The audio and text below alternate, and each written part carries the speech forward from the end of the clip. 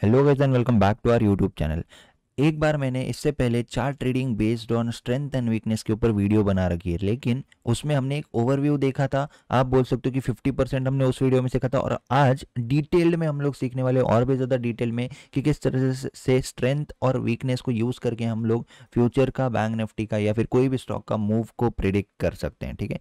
तो स्ट्रेंथ और वीकनेस किसकी होती है? तो मार्केट में कौन काम करते हैं? मार्केट में काम करते हैं बायर और सेलर राइट तो बायर और सेलर को हमको एनालाइज करना है कैसे करना है कैंडल स्टिक्स बहुत लोग कैंडल स्टिक्स चार्ट पैटर्न पे ज़्यादा विश्वास करते हैं, लेकिन सिर्फ़ कैंडल स्टिक्स का जो स्ट्रक्चर होता है, वो देख के हम लोगों को पता लगाना है कि आज बायर्स वीक है सेलर्स वीक है फ्यूचर मूव क्या हो सकता है, ठीक है? तो सबसे पहले हम लोग बढ़ते हैं कि स्टार्ट करते हैं हम लोग एग्जैक्टली स्ट्रेंथ और वीकनेस क्या है? स्ट्रेंथ मतलब पावर तो किसमें ज़्यादा पावर है और वीक कौन है, ये हमको कैसे पता चलना है, ठीक है?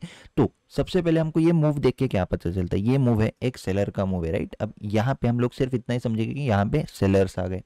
फिर नेक्स्ट टाइम आप देख सकते हो थोड़े से वीक सेलर्स आ गए ना, इस मोमेंटम से, इस मोमेंटम को कंपेयर अगर करोगे तो क्या ये मोमेंटम कम हुआ है या बड़ा है? सबसे पहले वो चेक कर लेते हैं। टॉप से बॉटम तक देख लेंगे 231 पॉइंट्स ये वाला मोमेंटम था राइट सेकेंड मोमेंटम को अगर हम काउंट करते हैं टॉप से बॉटम तक, ये 197 पॉइंट्स का मोमेंटम था। फिर थर्ड मोमेंटम अगर हम काउंट करते हैं यहाँ से यहाँ तक तो ये 118 पॉइंट्स का मोमेंटम था। तो पहली बार 237 फिर 197 फिर 118 तो ये जो सेलर्स है, ये सेलर कम हो गए राइट तो सेलर्स अगर कम होते जा रहे हैं सेम लेवल से अगर बार बार आने के बाद तो उनको कौन टेक ओवर करने में ईजी होगा? सेलर्स अगर वीक है तो बायर्स को ईजी होगा राइट तो नेक्स्ट मूव जो है फ़र्स्ट इतना बड़ा मूव आ गया, फिर सेलर्स ने ट्राई किया, लेकिन कम सेलर्स आए, और जो बायर्स थे, वो अपने आप को मेंटेन रख रहे थे तो नेक्स्ट मूव भी बड़ा बायर्स कर सकते हैं, ठीक है? ये हो गया एक एग्जांपल अभी और दो तीन एग्ज़ाम्पल और देख लेते हैं हम लोग, ठीक है?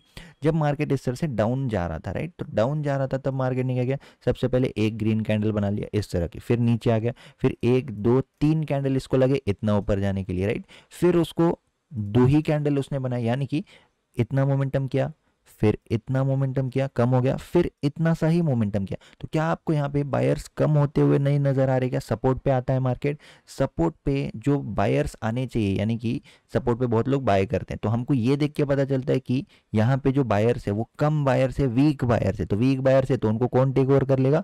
सेलर्स टेक ओवर कर लेंगे राइट तो यहाँ पे सेल साइड मार्केट आ गया, ठीक है? क्योंकि ट्रेंड भी सेल साइड था तो ट्रेंड भी सेल साइड है और बायर्स यहाँ पे वीक दिख रहे तो हमको सेल साइड जाने के लिए एक अच्छी अपॉर्चुनिटी मिल सकती है या फिर आप बोल सकते हो कि हम उसको कंसिडर ज़्यादा कर सकते हो, उसकी प्रोबेबिलिटी ज़्यादा है, ठीक है? अब होता क्या है फिर?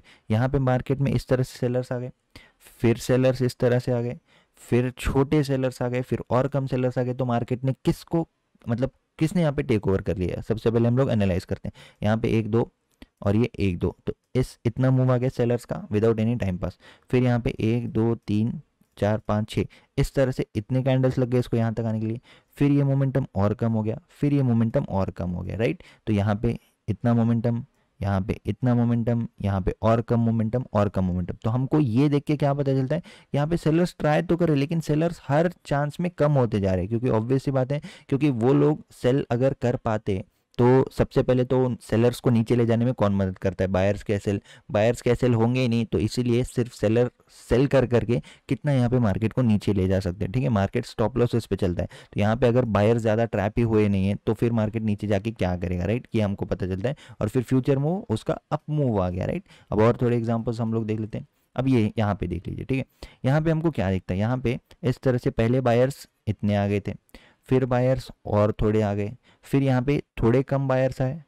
फिर और थोड़े कम बायर्स आए। यानी कि आप बोल सकते हो कि यहाँ पे इक्वल बायर्स यहाँ पे दिख रहे ठीक है इस वाले मोमेंटम को अगर हम लोग इग्नोर करते हैं तो हमको यहाँ पे क्या दिखता है? यहाँ से इतने बायर्स आए, फिर यहाँ से इतने बायर्स आए, फिर यहाँ से इतने बायर्स आए राइट फिर यहाँ से और भी ज़्यादा बायर्स बढ़ गए यहाँ पे, ठीक है? पहले इक्वल थे राइट इक्वल बायर्स थे ऑलमोस्ट इक्वल के आसपास थे, उसके बाद फिर और भी बढ़ गए यहाँ पे बायर्स तो और अगर बायर्स यहाँ पे बढ़ रहे हैं मार्केट नीचे किस तरह से जाता है? क्या मार्केट इस तरह से नीचे जाता है क्या? नहीं, अगर सेलर्स यहाँ पे स्ट्रांग होते तो सेलर्स किस तरह से ले जाते मार्केट को? सीधा ले जाते या फिर ज़्यादा टाइम पास नहीं करते? तो आप सेलर्स को पहले एनालाइज कर लेते हम लोग। पहले मार्केट यहाँ से यहाँ तक क्विकली आ गया था। फिर छोटे छोटे कैंडल्स बना के सेलर्स आ रहे थे नीचे, ठीक है? छोटे छोटे कैंडल से क्या इस तरह से स्ट्रॉन्ग सेलर्स होते हैं क्या?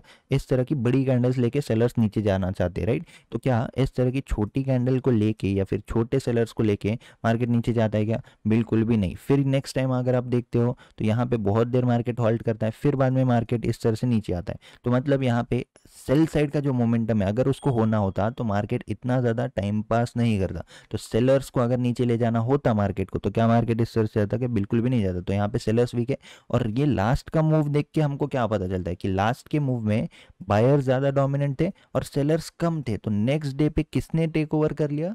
बायर्स ने टेक ओवर कर लिया, क्योंकि मार्केट अपने आप को हाइयर लेवल पे ही होल्ड कर रहा है, ठीक है?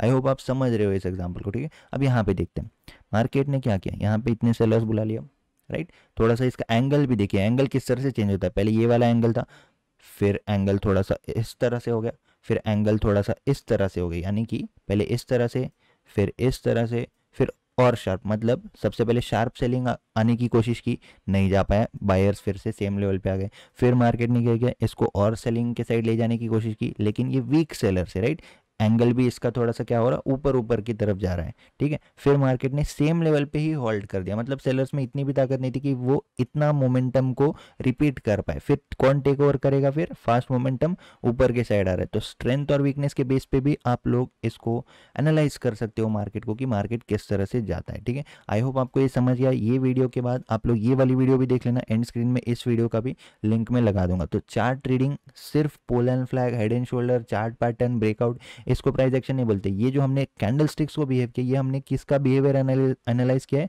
प्राइस का बिहेवियर एनालाइज किया है। प्राइस को कौन चलाता है? बायर्स और सेलर्स तो बायर और सेलर के एनालिसिस को प्राइस बिहेवियर कहते हैं और प्राइस बिहेवियर को प्राइस एक्शन कहते हैं। ठीक है? आई होप आप लोग समझ रहे हो। तो प्राइस एक्शन की जो डेफिनेशन है, उसको बहुत ही लिमिटेड कर दिया गया है। हाँ ब्रेकआउट ट्रेड करते हो चार्ट पैटर्न्स पता है तो आप एक प्राइस एक्शन ट्रेडर हो। ऐसा नहीं price action is very deep ठीक है? प्राइस के बिहेवियर को एनालाइज करो कि कब मार्केट स्ट्रांग है, कब मार्केट वीक है। कौन वीक है, कौन स्ट्रांग है तो फ्यूचर मूव क्या हो सकता है? कौन बढ़ रहा है यहाँ पे? इंक्रीजिंग बायर्स में है तो टेक ओवर भी बायर्स कर सकते हैं राइट इस तरह से मार्केट चलता है तो प्रोबेबिलिटी आपकी बढ़ जाती है अगर आप इस तरह के एनालिसिस करते हो तो। आई होप आपको पसंद आई ये वीडियो समझ में आया क्या लॉजिक है? इसी को आप रिपीटेडली फॉलो करके जो आपकी एक्यूरेसी है, जो प्रोबेबिलिटी जो रिजल्ट्स है, उसको इंप्रूव कर सकते हो, ठीक है? Thank you for watching this video guys see you in the next video thank you